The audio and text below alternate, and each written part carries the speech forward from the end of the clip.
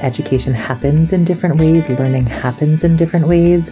Um, we always hear stories about amazing things that are happening in schools, and we hardly ever hear about things that happen outside of school. Hi, I'm Kevin Currie-Knight, and welcome to Learning by Living, the podcast about people who learn outside of conventional schools. In this premiere episode, my co host Gina Riley and I sit down and we talk about what this podcast is going to be. Long story short, we're both professors, and while we are in colleges of education, we have a keen interest in people who learn outside of conventional school settings, whether that means they're unschooled, homeschooled, educated in a very non traditional environment, etc. So, in this first episode, Gina and I are going to sit down, talk about what we want this podcast to be, preview the first few episodes that we've already recorded, and tell a little bit of our own stories about why we became interested in people who learn outside of conventional schools. So, I hope you enjoy this first episode and keep listening. Hey, Gina. Hey, Kevin. So, word on the street is that we have a podcast coming out. We do. It's something I'm super excited about. Yeah, it's it's been in the works for a while. I feel like we've been thinking about like what kind of podcast we should do, and it kind of decided on a podcast where we talk to unschoolers and world schoolers and folks who learn outside of conventional schools, and kind of just get their stories. Like, what is it like? What are the, what are the challenges? What are the the benefits? How do you learn stuff? Things like that. It should be really fun. I'm so looking forward to listening to other people's stories. I know we both have our own story about how we got involved in the movement, um, but one of the things I love is really listening and hearing other people's experiences, um, the joys and challenges, all of it. I can't wait. Yeah, it's interesting because um, I know, like I said, you and I have been kind of thinking about, we're both involved in the self directed education space and, and learning outside of conventional schooling. And stuff like that. And then um, I, was at a uh, kind of a conference, a, a, meetup of some alternative schools, and heard just so many stories, like I always do. People are like dying to tell their stories about like how you learn stuff outside of school. And I was telling them like, well, maybe I should we should do a podcast about that. And they're like, you know, that would be awesome because when I was a kid and I was learning outside of school, um, it would have been really cool to hear other people's experiences because you always kind of feel like you're the only one and you're doing this thing that nobody else in your neighborhood is doing. And stuff like that.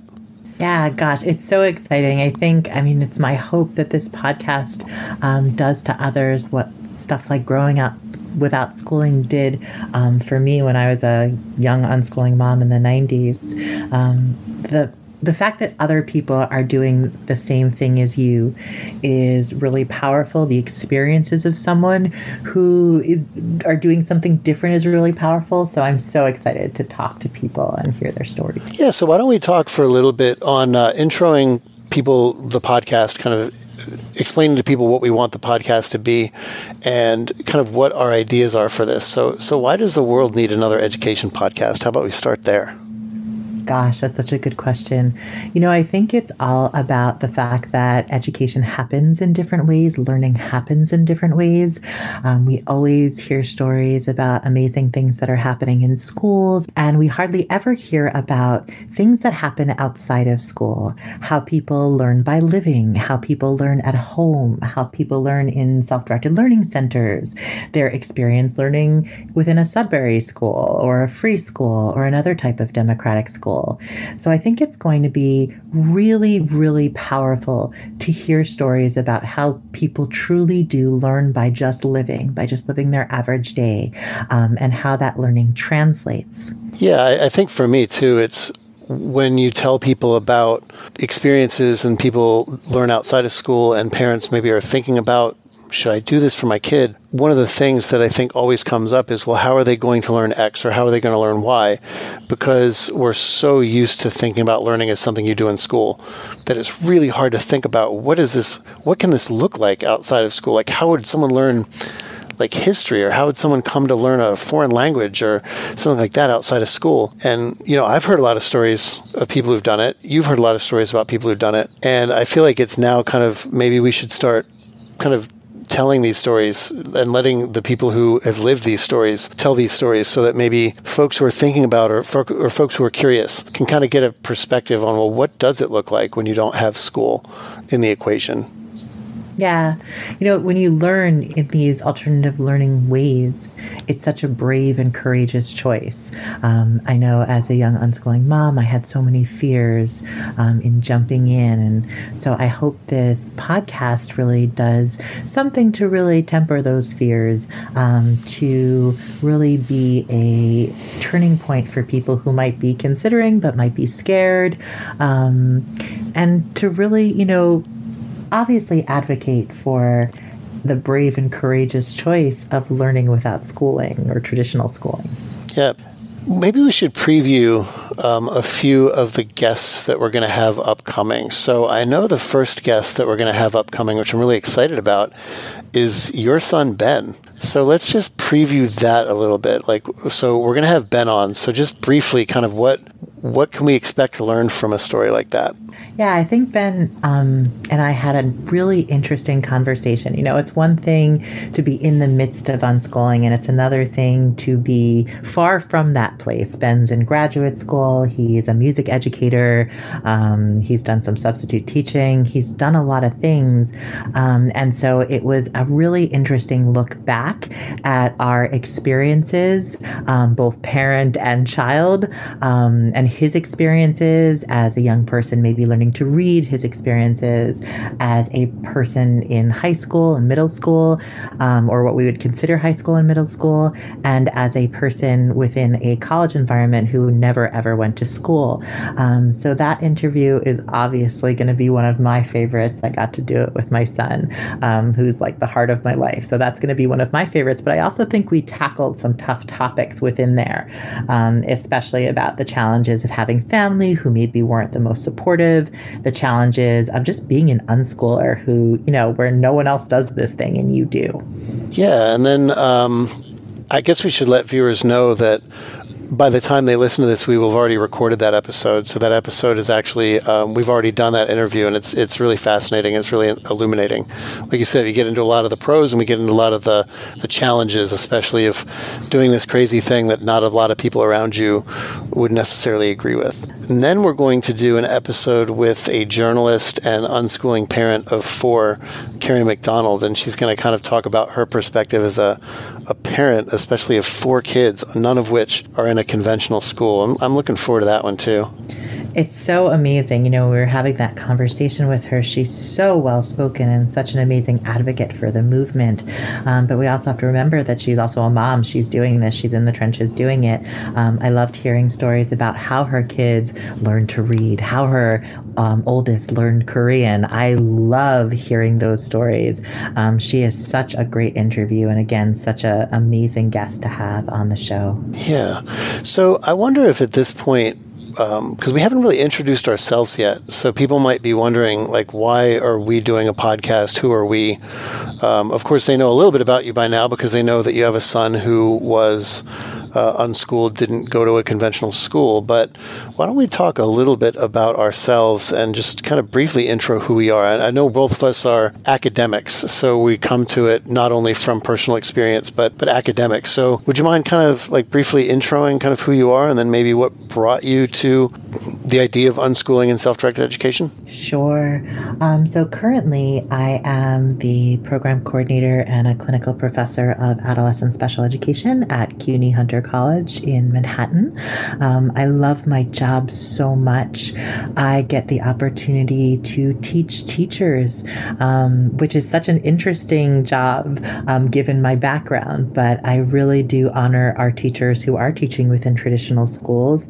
Um, and so I do automatically, and I think it's important for those who listen to our podcast to know that I'm always going to be super supportive of teachers and those who go into the field of teaching, as well as super supportive of those who choose um, to not send their kids to school.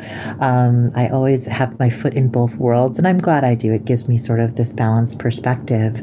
Um, in my research life, I hold a totally different title. I research intrinsic motivation, self directed learning, um, unschooling, unschoolers, young adult unschoolers, um, all of that. So, again, one foot in the traditional education world and the other foot in the research world in terms of um, really researching and getting to know individuals who have lived without conventional school um, and who are unschooling and homeschooling. Yes. So without giving away too much of the episode with your son and you, um, yeah, what was it that led you to this? Was it an academic interest first and then a personal thing, or was it a personal thing first and then became an academic interest? Yeah, it's such an interesting question. Um, it's chicken egg, right? I think it was a personal thing first. Um, I think as a parent, you get to see all the amazing things um, that your kids learn and do by themselves as they grow up. Um, I was a young single mom. Um, I was very influenced by individuals within the attachment parenting world and within the world of La Leche League. And I think through that world, probably I got um, or became interested in unschooling um, and homeschooling. I think the primary reason was that in learning and growing with my son, I saw that at age four, um, you know, he was doing different things than kids his age. Like he was obsessed with gems and minerals and, you know, learning the periodic table. And he had already, you know, he knows his alphabet, he knows his numbers. And I sat there and I, I thought, my gosh, am I, am I doing any favors? Um, in just you know doing what everyone else does and putting this kid on a school bus and put, enrolling him in school. And at the time the strong answer for myself was no i'm, I'm not doing any favors um, to this beautiful quirky child. Um, you know in fact i might be doing you know some not so great things by sending him to school. Um, so we didn't. We the school bus did not come to our house when ben was five and that to many people was a very very surprising thing. Thing. I think part of my story is that we got a lot of backlash. I got backlash from my parents who strongly believe in education, from my mother, who was a guidance counselor, from my sister, who was uh, at that time um, studying to be a physician. You know, this is not a thing that people did, and it was certainly not a thing that a very young single working and going to school mother did. Um, and I think at that point, the choice seemed pretty irresponsible. Um, but again, I was totally to my son and what worked best for him. And at the time, it wasn't going to be school. Um, at the same time, this is probably 1999 or so, my son was four, um, I was doing my master's thesis. And my master's thesis was focused on intrinsic motivation and self determination, and who to better study intrinsic motivation and self determination um, than homeschoolers and people who um, really spent their time learning through life. And I wrote my master's thesis, an ethnographic study of homeschoolers um, and intrinsic motivation. And that thesis really just sort of turned my life around. Um, within the thesis, I uh, the theoretical perspective within the thesis was Edward Deci and Richard Ryan's self determination theory and cognitive evaluation theory. And it was a theory I began to really fall in love with. It was a theory I wanted to live my life by. Um, and I got to see that theory in my, my child growing up. You know, I got to see the benefits of intrinsic motivation there. Let's um, talk about that theory a little bit first, because I don't know if a lot of folks are going to be familiar with it. So, uh, Deci and Ryan um, have this very popular in the education world theory of how motivation works. So, can you explain briefly kind of what that is and how it kind of connected to the homeschoolers that you were seeing, including your son? Self determination theory is basically um, a theory about defining what intrinsic motivation is. And basically, that's being motivated by what you love and your passions, and not being motivated by things that are more extrinsic, such as money or grades or gold stars. Um, and that theory really spoke to me I was never a person to be motivated by extrinsic things. Um, I always had to love what I was doing, or I wasn't interested. I always had to like be attached and passionate about what I did. Otherwise, I wasn't interested. Um, and so that theory really spoke to me. Cognitive evaluation theory is a sub theory of self determination theory and talks about three basic environmental tenets um, that really can facilitate feelings of intrinsic motivation in others. We have to remember that we can't force intrinsic motivation in anyone, um, we can only facilitate it. So I talk a lot about Deci and Ryan's cognitive evaluation theory in my work um, and those three environmental tenets, which I'm sure we'll get to within the podcast, are the tenets of competence, autonomy, and relatedness. Yeah, just the preview for my own story, um, which I'll get to a bit later, I guess. Um, Deci and Ryan's theory was one of the things that actually kind of shifted my focus from conventional schools to, well, wait a minute. There, it seems like if this theory is true, um, there's a lot of things in conventional schooling that don't quite jibe with this. Yeah. Yeah, it's a theory I, I teach my teachers, um, but it's a theory that's hard for my teachers as well because it is hard to facilitate competence and especially autonomy uh, within an environment that doesn't always value those things. Um, and so, you know, there's an interesting dichotomy there. Yeah, cool. I guess my story is a little bit different than yours in terms of how I came to self directed education and kind of valuing this idea. So I didn't come to it more through personal reasons first, I came to it more through academic reasons first. So I have been a professor in a college of education um, for, I guess, what this is my sixth year now, and then before that I was a PhD candidate uh, in education, and before that I was a teacher, and before that I was an instructional assistant. So I know the education space pretty well, um, but I've always been pretty kind of conventionally minded just because I, was never aware that there was any other option. Even when I was in school myself, especially K 12, um, just never really liked it. I think I was always resigned to it, although my parents like to remind me that I actually really did hate it.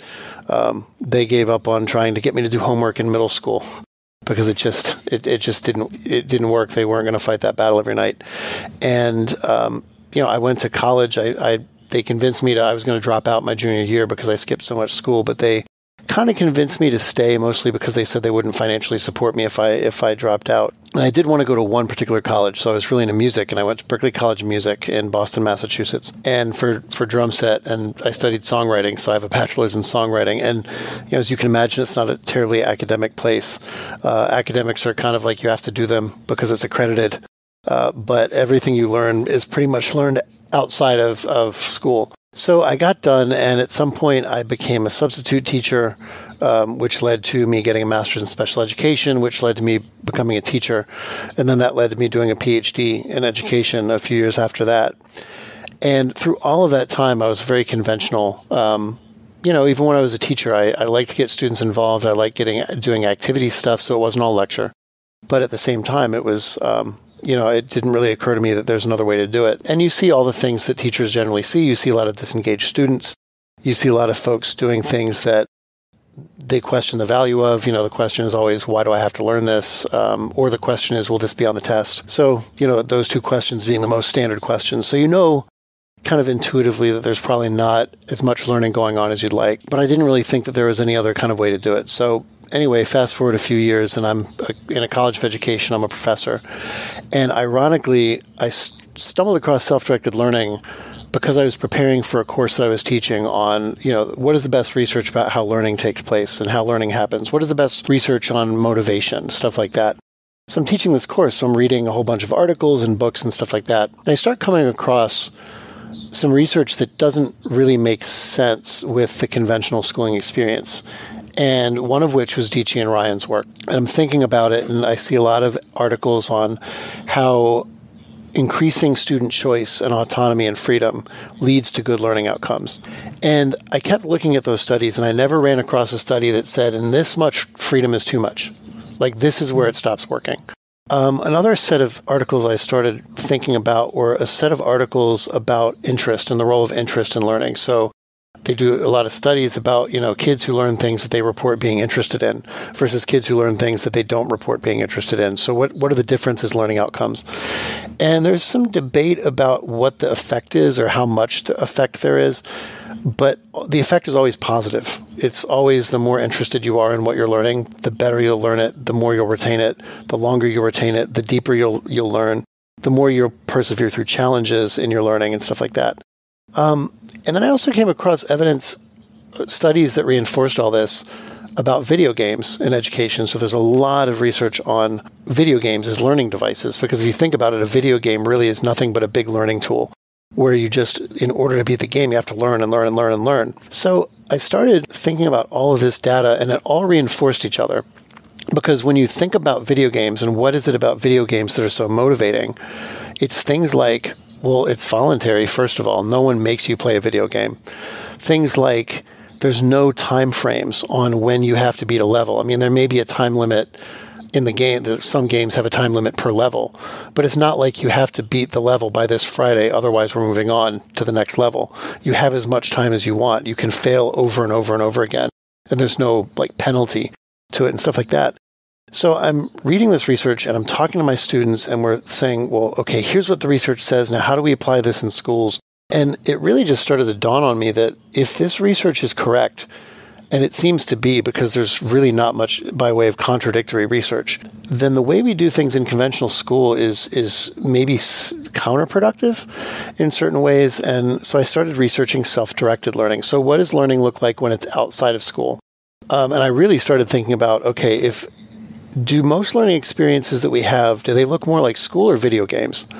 And I started making a list of like all the activities I, I, can think of people learning. Things like you learn new software in the office, or you learn to garden, or you learn guitar, or um, you have to learn how to cook a, a, recipe, or whatever. I just started making a list, and I thought, like, does that look more like school, or does that look more like video games? And, and most of the stuff I came across, it looks more like video games than it does like school. So I, I just started to think, well, we have a problem. And then I just started kind of going down the research rabbit hole, and I ran across unschooling and I ran across Sudbury Valley and it's like, wow, there are these places where none of the conventions of school exist that we think are necessary, yet these kids learn. So that's amazing. So that's that's kind of my story on, on how I came across it. Yeah, I think it's going to be super exciting. You know, I don't want this, I think both of us don't want this to be the unschooling podcast. Um, we want it to be the, you know, let's talk to people who learn outside the traditional realm of school podcast. Yeah. Um, so, you know, along with unschooling, we'll talk about uh, different self directed learning centers and we'll talk about Sudbury schooling and homeschooling and uh, world schooling and all the different types of schooling that maybe uh, are not in a building. and and do not take place in a classroom.